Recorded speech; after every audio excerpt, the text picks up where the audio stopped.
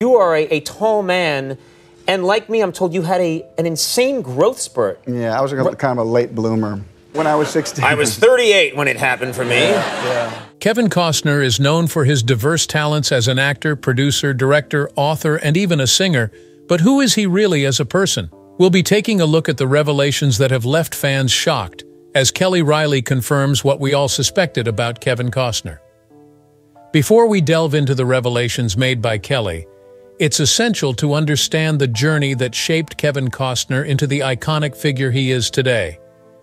Let's rewind to his childhood and trace the path that led him to become the multi-talented figure admired by millions. His difficult early life. Born in 1955 in California, Kevin was the third child of Sharon Rae and William Costner. Despite the joy of his arrival, the family also faced the sorrow of losing their second son at birth. Growing up wasn't easy for Kevin. His dad worked hard as an electric line servicer for Southern California Edison, which meant they moved around a lot. Being the new kid at school all the time made it tough for Kevin to fit in, but he found solace in sports. Baseball was his passion, and he dreamed of playing professionally. He even tried out for the California Angels, but the major leagues remained just out of reach. But when his dreams of a baseball career didn't pan out, Kevin had to rethink his plans. He decided to give acting a shot instead, Yet diving into the world of acting wasn't easy. Kevin knew it was a risky move. He doubted himself and wondered if he had what it takes to make it in Hollywood. So when he graduated from California State University, Fullerton, with a degree in finance, Kevin found himself at a crossroads. Unsure of what to do next, he played it safe and took a marketing job. But fate had other plans. A chance meeting with the legendary Richard Burton changed everything.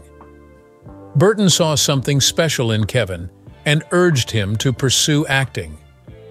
Kevin took a decision and followed his dream into the world of Hollywood, thanks to that unexpected encounter.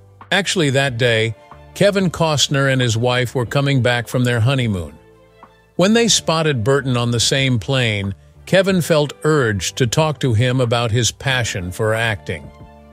Now, Costner was a bit anxious about talking to the famous actor, but he decided to give it a try anyway. And you know what? He was pleasantly surprised. Burton was really nice and encouraging. Costner later shared, I really wanted to talk to him. The conversation was short, but he was gentle and kind, telling me, I think you should give acting a try. Can you imagine how good that must have felt for Costner? After that chat, he finally felt sure that he could pursue acting as a career. Kevin Costner's hard rise to stardom, but it wasn't easy at all because he didn't have any connections in the entertainment world. So he basically started from zero, learning the ins and outs of the business all by himself. While he chased his acting dreams, he had to take on all sorts of odd jobs to pay the bills in between auditions. Being a nobody in a world full of legends, Costner eventually started landing some small roles in movies and commercials. His big break seemed to come when he earned the part of Alex in The Big Chill, only to be disappointed when his scenes got left on the cutting room floor. But the director, Lawrence Kasdan, promised to make it right and assured Costner he'd be in his next movie. Kasdan stayed true to his word, casting Costner in Silverado, and that's when the magic truly began for him. From then on, Costner soared, landing roles in some of the most beloved movies of the following decades, like Field of Dreams, The Bodyguard, and Wyatt Earp. As his love for the movies grew, he decided to step behind the camera, trying his hand at directing. His first attempt, Dances with Wolves, was a hit with both audiences and critics alike. He followed it up with two more films, The Postman and Open Range, solidifying his place not just in front of the camera, but behind it as well. As we mentioned earlier that Costner does have a personal love for baseball, and he's always been a big fan of the game. Not just that, he has acted in quite a few baseball movies too. Back when he was starting out, Kevin starred in a movie called Chasing Dreams, which was all about baseball. But it wasn't until the late 1980s that he really hit it big with baseball fans. You see, he played memorable roles in two super successful movies, Bull Durham and Field of Dreams. Those movies made people think of Kevin Costner whenever they thought of baseball. And get this, He didn't stop there. He continued with two more baseball movies, For the Love of the Game and The Upside of Anger. But here's the really interesting part. Kevin's love for baseball goes beyond just acting in movies.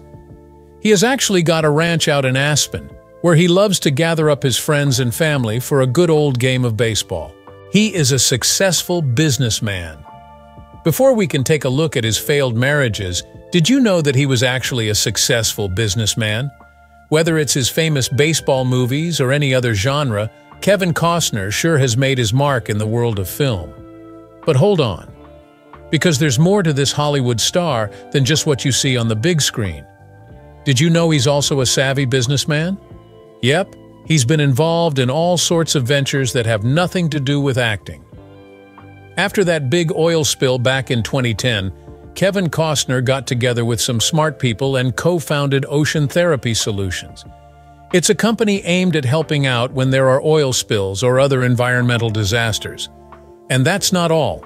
He is also a part owner of TIG Productions, which made some famous films like Dances with Wolves and Robin Hood, Prince of Thieves. Oh, and get this! Kevin Costner's got a vineyard too. It's called Midnight Star, and they make some really fancy wines there. With all these different businesses, it's no wonder his bank account is sitting pretty at around $250 million as of 2023. Not too shabby for a man who started out as just an actor, right? His turbulent failed marriages, while Kevin Costner has certainly made a name for himself in Hollywood and his business ventures, his personal life, particularly his marital journey, has seen its own share of ups and downs. Kevin met his first wife, Cindy Silva, back when they were both studying at a place called California State University. Imagine that. Cindy was described as looking like Snow White, and she even got to play the princess at Disneyland during her summer breaks. They got married in 1978 and had three kids together during their 16 years of marriage. Kevin once said Cindy was everything he liked in a woman beautiful, sweet, and smarter than him. It's lovely when people find someone who ticks all their boxes, isn't it? But, you know, life isn't always a fairy tale. Rumors started swirling about Kevin not being so faithful, especially after he worked on a movie called Robin Hood, Prince of Thieves. Eventually, they decided to go their separate ways in 1994. It must have been tough, but they managed to sort everything out about their kids and money without any big fights. After that, Kevin had a brief fling with someone named Bridget Rooney. She was said to be connected to the Pittsburgh Steelers, which is a big American football team. And from that fling came his fourth child, a son named Liam. Things were a bit complicated at first, but Kevin made sure Liam was taken care of. Then, there's a twist in the story. Kevin met another lady, a former model Baumgartner, who later became a designer of handbags. They had known each other for quite some time before they started dating. But you know, love isn't always straightforward. They broke up for a bit because Kevin didn't want any more kids. But his lady love said she'd wait for him, and guess what? He came back to her, and they got married in 2004. They even had three kids together. But alas, sometimes things don't work out as planned. Just last year, Kevin's wife filed for divorce, saying they couldn't fix their differences. A judge even had to step in and decide how much Kevin should pay each month for their kids. It was a whopping $63,000.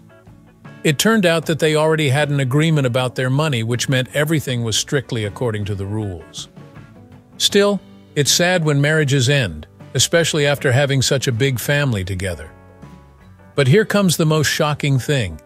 Kevin has found himself a new love. Who is she? Well, before we reveal her name, let's talk about Kevin's actual source of happiness, his kids. Kevin Costner may not have had the best luck with marriages, but he found true love in his seven children. With his first wife, Cindy Costner, he shares Annie, Lily, and Joe. Liam came along with Bridget Rooney, and his younger ones, Caden, Hayes, and Grace, are with his current wife, Christine Baumgartner. He's proud of his children's achievements and often talks about them. He once shared his deepest worry, that someone else might raise his kids if something happened to him. He wants to be there for them, to guide his sons into manhood and to share life's wisdom with them. Despite being close to his daughters, Kevin doesn't play favorites. He believes in showering all his kids with love equally. Kevin sees movies as magic, but being a father is the most rewarding role of all. He cherishes the moments when he can leave the heroics of the big screen behind and simply be a dad at home, sharing love and wisdom with his children. He is a down-to-earth man. Just as Kevin Costner's dedication to his children is unwavering, so too is his commitment to his craft, whether on the silver screen or in the realm of television. Throughout his illustrious career, Costner has not only portrayed heroes on screen, but has also exemplified the qualities of integrity and kindness off-screen, solidifying his reputation as a genuinely good human being. Kevin Costner has always remained grounded and true to his values. Costner's career has been built on a foundation of strong moral principles. He's selective about the roles he takes, choosing only those that embody integrity, justice, and genuine emotion. This commitment has shaped a filmography that continues to resonate with audiences, reflecting his belief that true heroes are those who remain faithful to their ideals and convictions. A lifelong affinity for Westerns has defined much of Costner's work.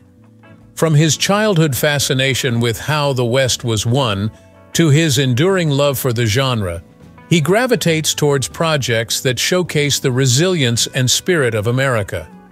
His dedication to portraying these themes has solidified his reputation as one of the leading stars in modern Western cinema, culminating in his role as John Dutton in the highly acclaimed series Yellowstone. Working on Yellowstone, Yellowstone owes its creation to the vision of Taylor Sheridan and John Linson. Sheridan's journey from actor to screenwriter to creator of the series underscores his emergence as a prominent figure in Hollywood. Do you know what makes Yellowstone such a captivating show? Well, it's none other than Kevin Costner, the talented actor who has won an Oscar. Yes, he is the main reason many people tune in.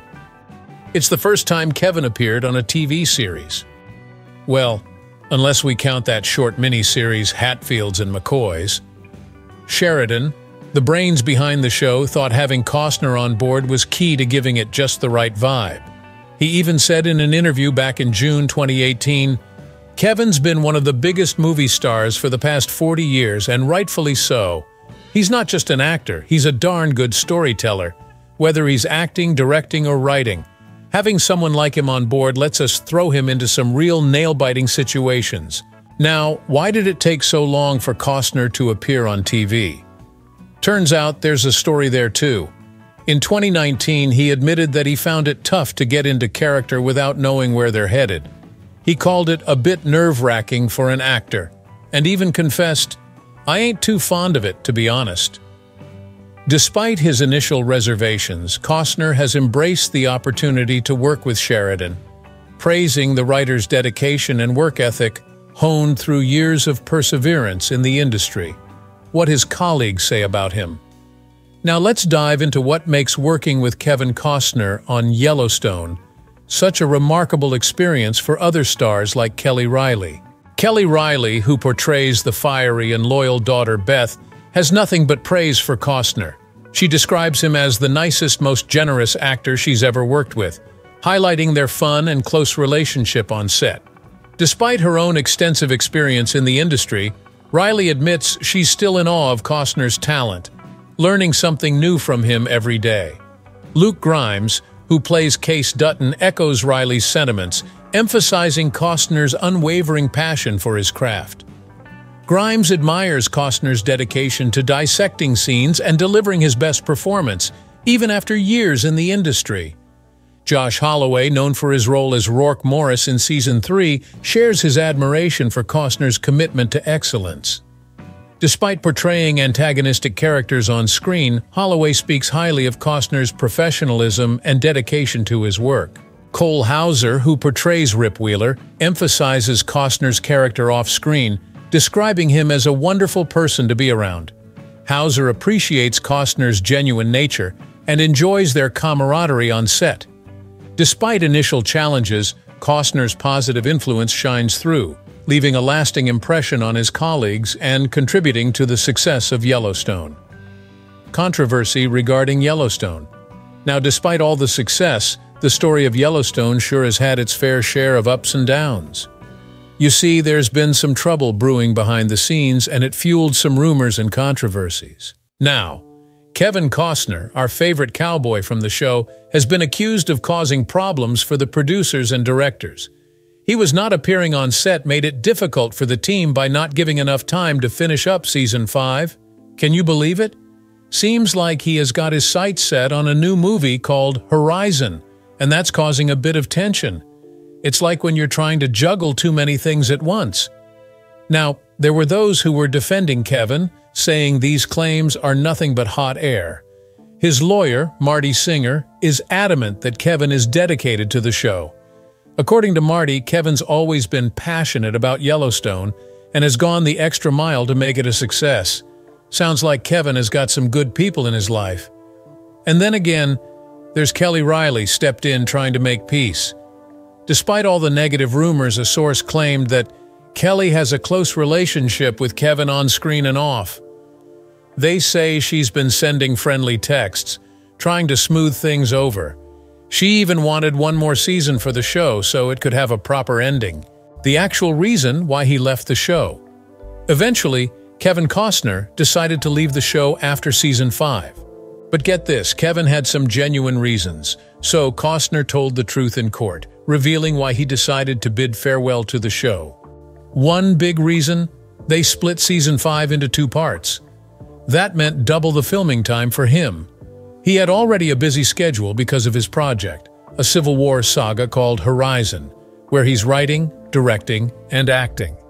He told the court all about the back-and-forth negotiations. It seems they couldn't agree on things, and he felt like he couldn't continue everything anymore. He even asked for a hefty sum, something like $12 million to stick around, but they walked away. But that's not all. Costner hinted that there were some creative differences too.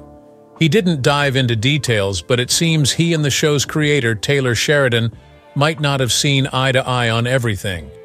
Now, about those final episodes, well, Costner didn't give away much, but it sounds like he might be heading to court over some payout. And remember that note he wrote about earning less this year without Yellowstone? It seems like he's moving on. The show's wrapping up in November 2024, but whether Costner will make a comeback for those last episodes? Well, time will tell. His current hectic lifestyle. Now, if we talk about Kevin's life behind the cameras in these acting projects, it's quite surprising. You might think that after starring in big movies, he'd be soaking up the California sun, right? Well, surprise, Kevin's taken a different path. Instead, he's nestled into the cozy town of Aspen, Colorado. Yes, Kevin Costner's got himself a sweet 160-acre estate there. After years of hard work in the movies, he's built up quite the fortune, with about $400 million in his account. And what did he do? He invested in his dream spot amidst the stunning Rocky Mountains. They're his absolute favorite, you know. Now let us paint you a picture of his place. It's like stepping into a storybook. Imagine waking up to breathtaking mountain views every day. And get this, his estate sits right in one of the fanciest zip codes in the whole country. Kevin calls it Aspen Independence Ranch, a fitting name for such a beautiful place. His new beginning, but Kevin's story doesn't stop there. In fact, there's something new and exciting in his life that has captured hearts and headlines alike. After going through his third divorce, Kevin has found himself a new love of his life, none other than Jewel. Yes, that Jewel, the singer. Now here's a fun fact for you. Jewel herself has earned some serious fortune through her life, with an estimated fortune of around $14 million. Quite the wealthy pair, aren't they? Well, the qualities that truly define Kevin Costner are his humility and down-to-earth nature, despite all his fame and fortune. Now let's take a moment to reflect. In a world where fame and fortune often go hand in hand with ego and excess, how do you think Kevin Costner has managed to stay so grounded and humble? Share your thoughts in the comments section below. See you in the next video. Until then, stay tuned.